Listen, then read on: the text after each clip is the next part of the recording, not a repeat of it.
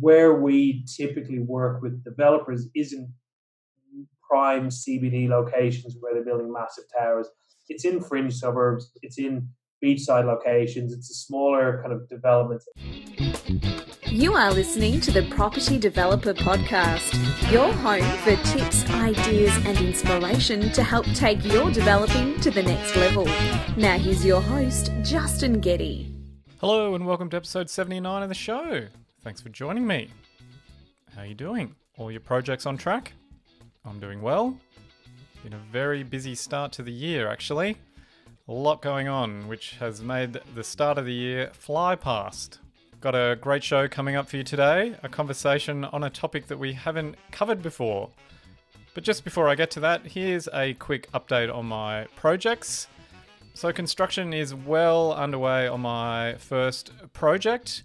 In fact, we're probably about halfway through. We've got roofs going on, we've got plastering starting, and I've spent a busy couple of weeks finalising the variations with the builder, which is always a bit of a tedious and time consuming process. Sales have continued to be strong on the project, which is good, and we've only got two more townhouses to go, so that's pretty exciting.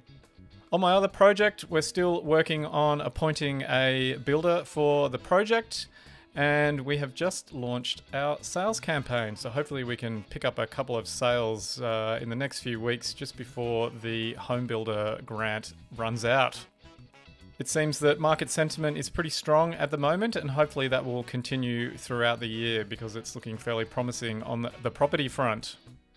On the training and mentoring side, I've continued to chip away at my online training program, but I've been slightly delayed because of how busy I've been uh, at the start of this year with uh, with the projects. But I'm making progress there. If you are interested in uh, seeing how ready you might be to become a property developer, head over to www.propertydevelopertraining.com and take the short quiz to see how ready you are. Also, we've got the mentoring program that's available if you want to get started in developing and have someone guide you through the process. If you're interested in learning how to develop, then email me, justin at propertydeveloperpodcast.com, and I'll send you some further information. Now, if you'd like to see how my projects are progressing, I do post regular video updates on the show's Facebook and Instagram feeds, along with other news and tidbits and they're both under the handle of Property Developer Podcast, so be sure to go and check them out. All right, on to today's guest, David Whelan from Urban Rest. So, Urban Rest provides corporate longer stay travel accommodation. Now, the reason that we're talking to David is because he has been doing a lot of work with developers to adapt some of their projects to suit this style of longer term accommodation. So, in this conversation, we cover how you can repurpose some of your existing projects without too much variation to create cash flow generating assets which you can hold for a longer period of time. We talk about why this might be beneficial to you and the project, what locations are suitable for longer stay accommodation, and whether this might be a model that you might want to consider using. It's an interesting conversation about repurposing projects when conditions change and I think you'll enjoy what we discuss. I started off by asking David what food he would eat until he was sick, and his simple response surprised me a little. Probably um, some sort of seasoned but otherwise relatively plain chicken. Um, I'm a absolute chickenaholic. Um, so that'll probably be my yeah weirdly food of choice. I do have a bit of a sweet tooth and eat chocolate, but unfortunately, that'll make me probably sick too soon. So if I only had one thing to survive on, yeah, definitely chicken. Well, David, we're here today to talk about your business, Urban Rest Apartments, which is primarily focused on short stay accommodation. And I think we're going to focus particularly on how you've seen a lot of projects being converted into these sort of short stay apartments. So, can you give us a bit of a background about uh, how you got into this sector?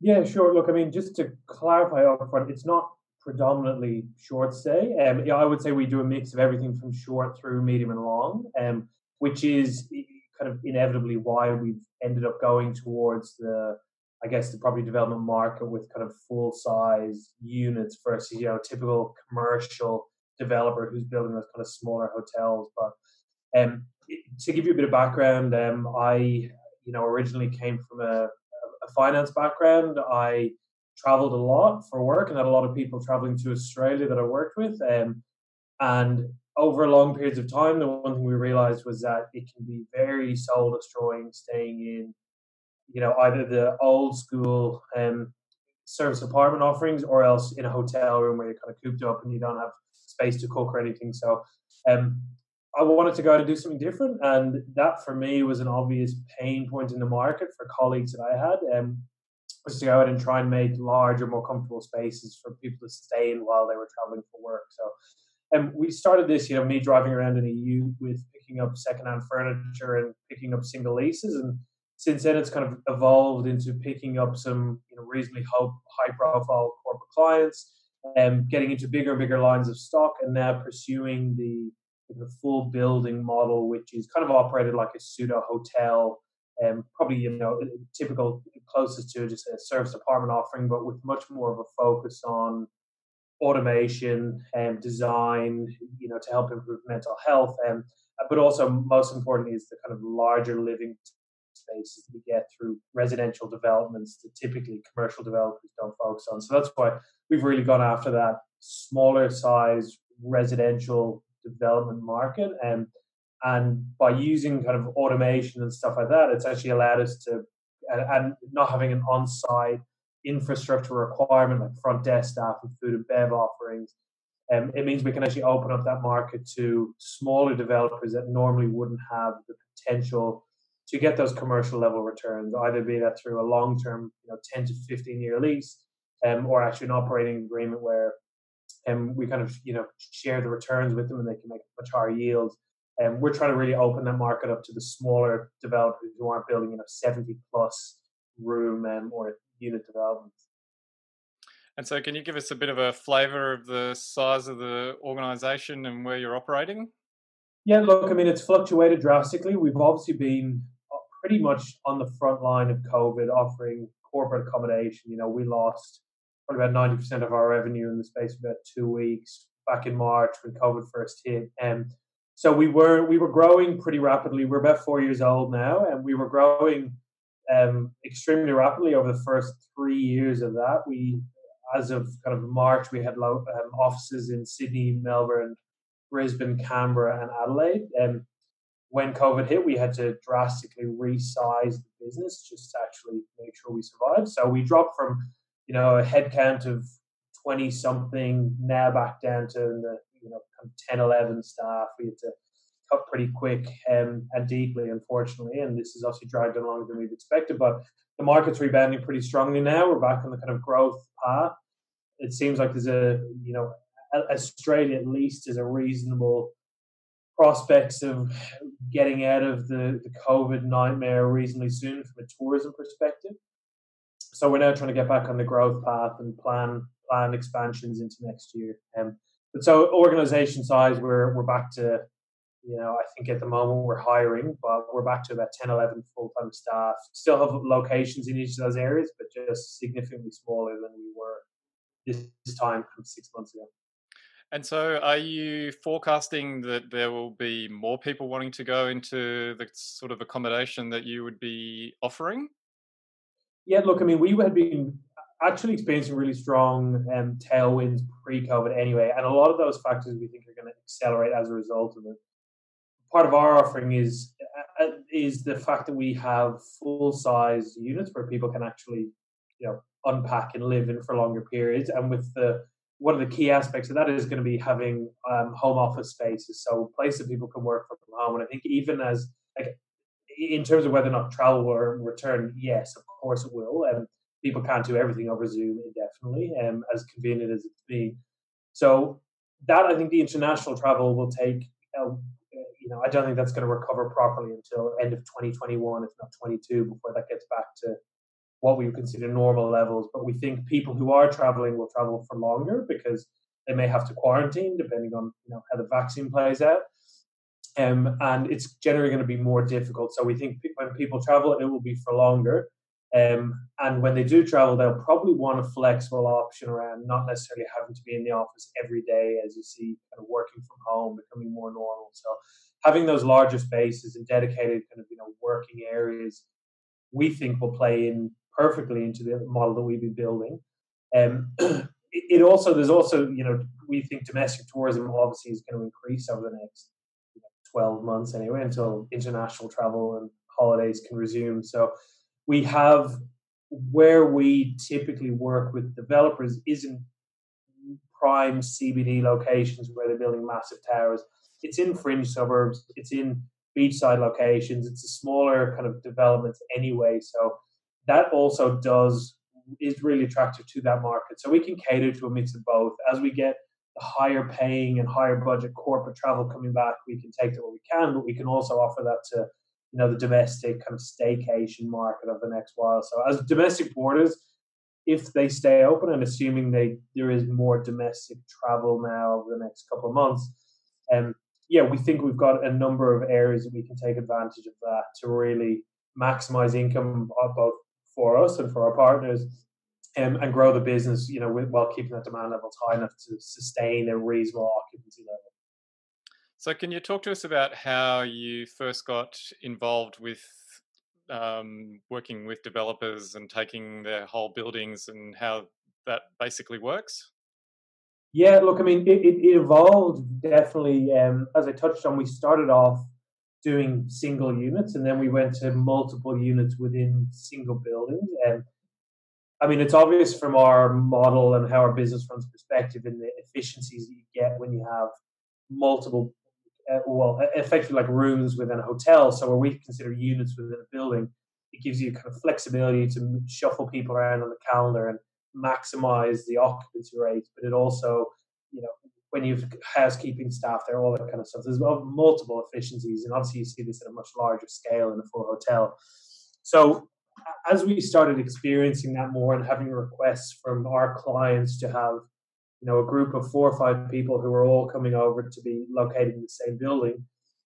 And we started moving more towards looking for, okay, can we actually find developers who've got something that isn't going to be so overly capital intensive from our perspective? You know, we weren't necessarily looking for 60 unit buildings that from day one we wouldn't have the capacity to take on, but can is there a middle ground where we can find a developer who can give us an entire building? So you know, there's no strata issues. There's no neighbors who aren't happy with the fact that it's, you know, maybe more of a transient, even if it's a longer term, but they're not, you know, kind of getting to know their neighbors properly. And obviously, you see a lot of negative publicity around that Airbnb type model. So the, the challenge was to find developers who could bring us that kind of product where we could have control over it and get those efficiencies, but also actually make it financially viable because generally you need a, you know above kind of 70 rooms typically for like as a hotel to make it work. So that's where we really started to go well if we introduce more technology to make this more efficient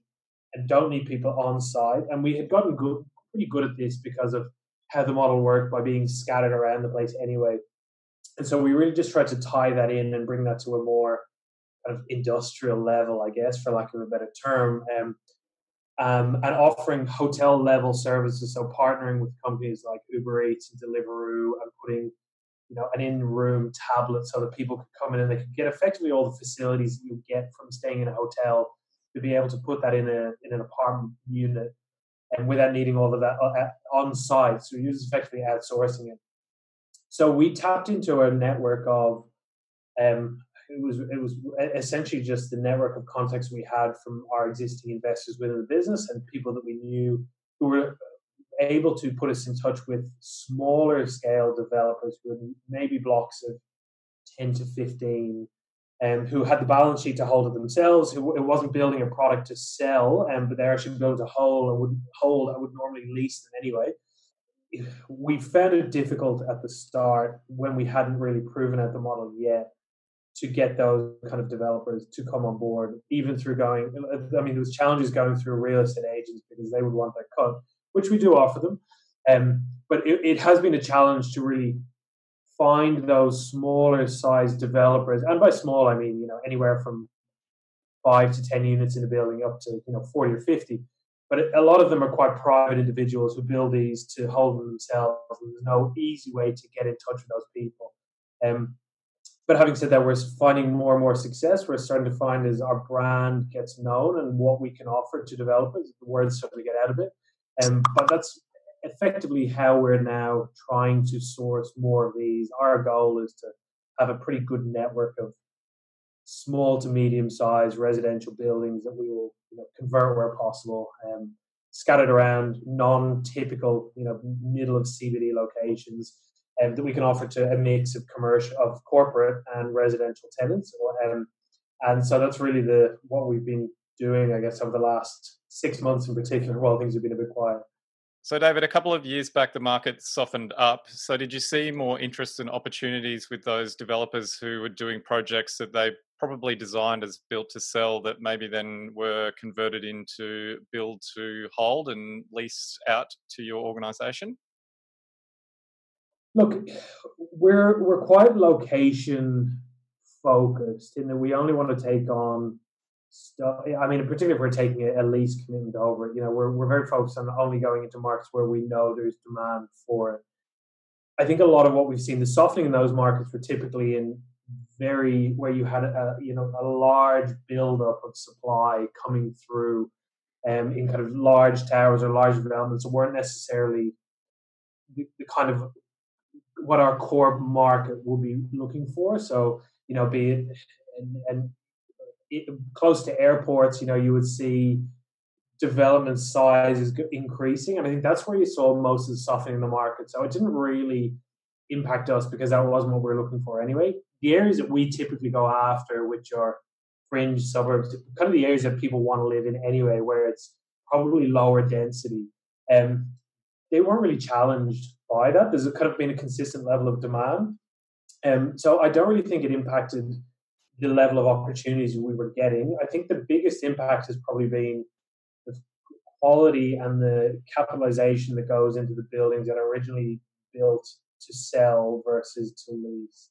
You know, I think generally, depending on if you're targeting an investor or an owner occupier market, I guess particularly if you're targeting the owner occupier market, you know, typically you have a much higher level of finishes, um, which doesn't translate very well into you know rental stock effectively because the price of expectations for it are reflective of the cost that's gone into it. So the yields just come. I mean, yields on residential yields anyway are so low as it is. You know, if you're putting in high quality finishes to appeal to an owner occupier market, it can be very difficult to capture that if you're looking at mass market rentals. So I think that's going to be when we're talking now, particularly to developers in the early stage in a project, and now um, you know quite a few of the developers we've worked with and partnered with previously are kind of looking for new sites to develop, and we're in various stage of those projects. The big thing is making sure we put in a level of fit out that is good enough, but not overcapitalizing, because obviously everyone's they can then maximize their yields, we can keep our costs our lease liability costs down, or if we're operating for them, you know, they can get the best possible returns. So I think that's the biggest challenge is setting the expectations of what is required in terms of it has to be executive level level quality, but that's pretty easy to achieve by just putting in good quality stuff that you know, and then we focus on the design aspect around it to sell the product versus putting you know super high end kitchens and marble bench tops and stuff like that. So that's really where we've seen the main transition from from developers who have the who are looking to sell their product versus to hold and lease. It's just really the level of fit out and the capitalization that goes into it. And what kind of lease period or term do you ideally look for initially? Look, eh, historically we were doing, you know, almost typical residential leases where we're doing one to two years minimum commitment, and that was, you know, it was a, a matter of our own transition into figuring out what areas would work yeah, we're we're now kind of moving into the five to ten year lease cycle type thing, or you know, a five plus five type thing. So it, it depends on if it's a commercially zoned building where we can do a commercial lease structure versus a you know a residential approval where we have to enter into a residential structure. So it kind of it, it's it's quite property specific and, and circumstance specific but generally definitely moving towards more of a, a longer term commitment for you know for the benefit of both parties. And so, how do you decide which areas you would secure or you'd have buildings? We look at overall market data um, in terms of where there's demand, where there's pricing, um, information available, both against our own historical information about what's worked within our portfolio, then within the broader market. So that'll be looking at everything from hotel current hotel rates versus you know hotel stock that's coming on. And um, so it's like, well, is competition there going to increase? Um, and then that is kind of you know the two sides of the equation is what's the revenue potential versus what's the cost going to be. So um, the cost thing is typically how in what areas are you going to pay a premium for the stock that you're getting. So you know if you want to be oceanfront down at Bondi Beach, for example, you're going to pay significantly higher rent than you would if you were you know maybe even 500 meters back from the beach. So it's really looking at what are the rates that can be achieved versus what is the underlying cost going to be, and then finding how do we maximize um, that difference between them to both for ourselves and for the developers. So, um, co- underlying cost um, and then demand potential are really the two big driving factors. Um, and then obviously we work off, you know, where we see our clients if they point to specific areas of demand, like you know, we've had a number of clients who said Parramatta for them going forward is going to be an area that they will need more stuff as either they look to move their offices or they've got large projects going on out there. So we kind of listen to our customers a lot um, and our clients. It's similar. That's also what's pushing our move into New Zealand. Um, uh, from you know anecdotally, and then having gone over to check out some sites, there's not a whole lot of quality stock available in that area. And typically, the corporate clients we have struggle to find um, suitable, uh, certainly for longer stays, they struggle to find suitable options. So we kind of just listen to our clients a lot of the time and we'll say, okay, well, if we can make the economics stack up and we know there's demand coming through, well, you know, that's where we'll then go out and put the feelers out and try and find new developments and new developers to work with. Yeah. So you're looking for people to partner with or for projects to uh, take over or to lease from? Yeah. Yes. So, I mean, we've got a pretty decent pipeline already for 2021 and then some already into 2022. But we're, we're currently in the middle of trying to do a reasonably significant capital raise. And it's probably, you know, pretty bottom of the cycle from a tourism and hospitality perspective. So we think if we can raise capital now and put it to work, there's a significant level of upside that can be achieved for that over the, you know, particularly the medium term. So uh, the growth ambitions we have are nowhere near the level of pipeline that we currently have. So we're absolutely looking in, you know, not just Sydney and Melbourne, but all of the states we operate in. We're looking in Perth, we're looking for New Zealand, and Sunshine Coast, anywhere where there's really opportunity for a corporate travel market, which can include things like you know the film industry and entertainment. It doesn't necessarily need to be corporate from a you know financial services point of view. We're looking at a lot of different locations at the moment, and we're going to have you know capital behind this, which we can put to work. So yeah, if um, we're absolutely looking for opportunities at all stages of pipeline development, both things that'll be completing soon or that are you know only in planning stages, that we can continue to build that out for the next two to three years. And so, is it just apartment projects that you're interested in, or in some of those outer area? I mean, outer areas. I mean, you mentioned the Sunshine Coast, but perhaps some denser townhouse projects. Would that be suitable? We are currently looking at. We've got a number of townhouse projects that are actually in the pipeline at the moment that we're working on. So, again, it's really. I mean, we kind of think about who the market will be and what will be the most suitable project. So, for example, Port Adelaide is an example that we've got quite a decent pipeline of stock coming through, and a lot of those are actually townhouses.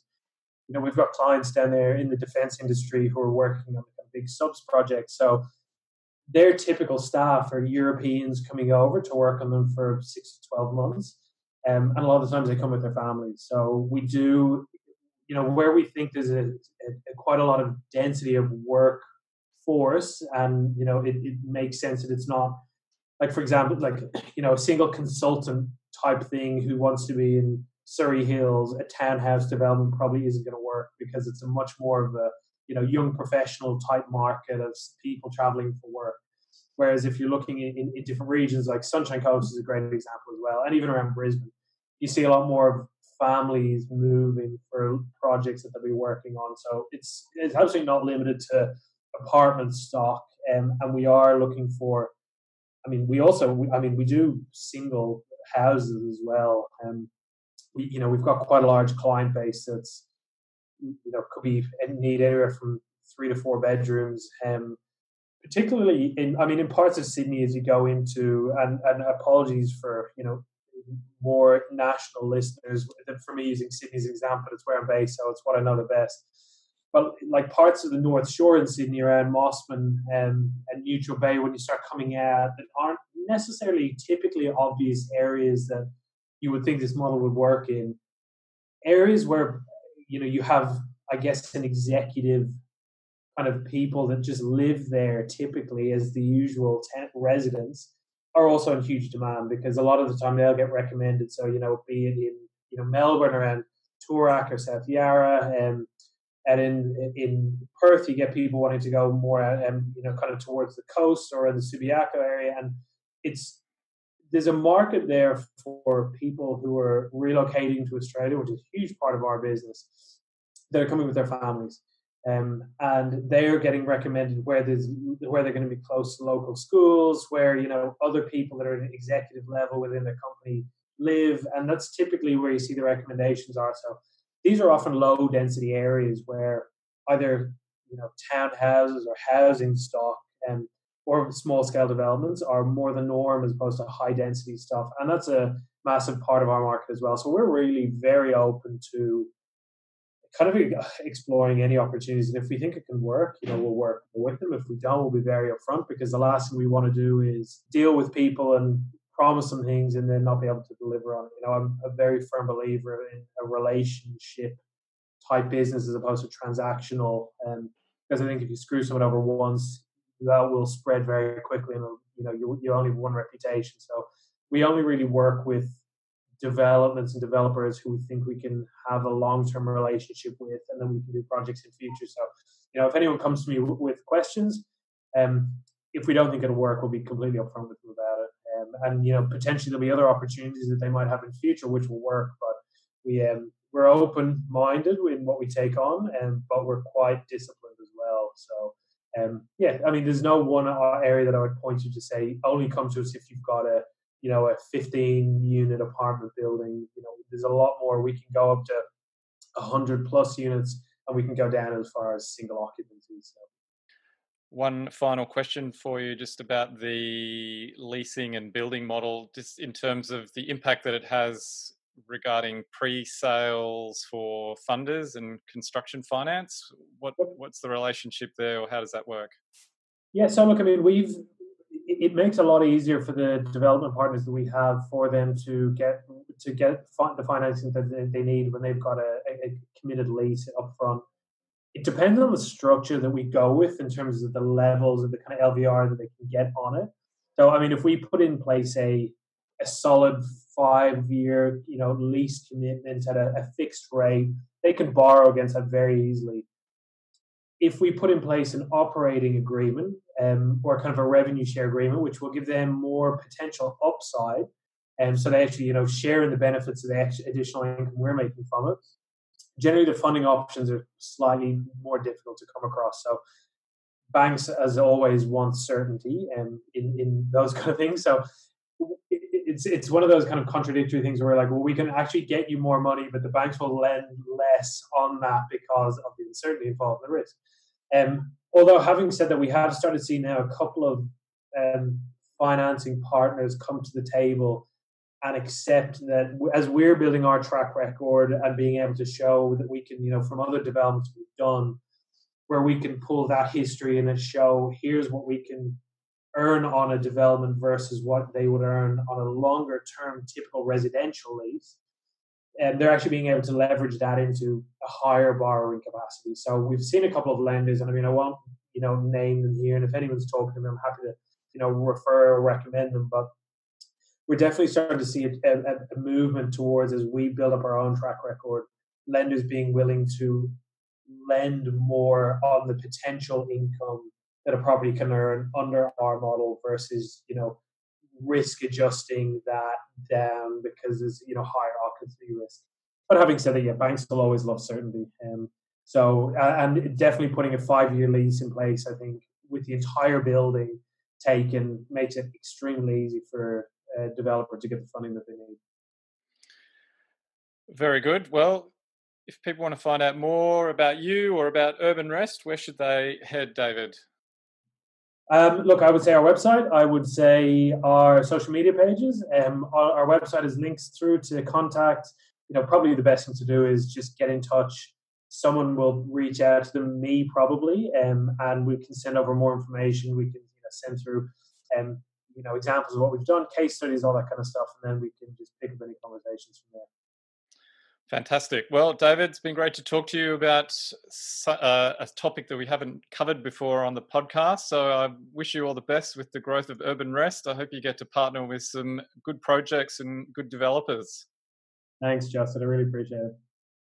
You've been listening to the Property Developer Podcast. Tune in next time for more tips, ideas, and inspiration to take your developing to the next level. For more developing love, make sure to visit propertydeveloperpodcast.com.